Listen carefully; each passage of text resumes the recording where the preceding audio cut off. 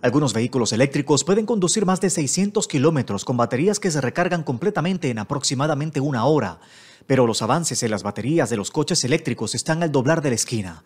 Una nueva batería de iones de litio reemplaza las existentes. El debut de esta batería está comenzando de a poco con el rastreador de ejercicios Whoop. Esto permite, en nuestro caso, alrededor de un 20% de densidad de energía adicional en nuestra batería. Pero la nueva batería no es solo para rastreadores de ejercicio.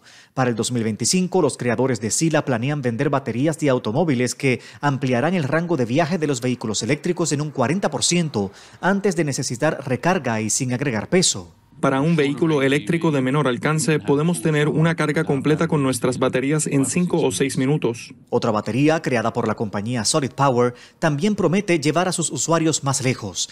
Además que la composición sólida de la batería, que no tendrá líquido en su interior, evitará incendios.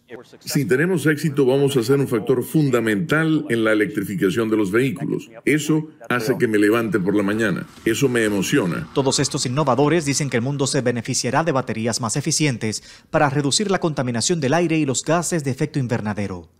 Arnaldo Rojas, Voz de América.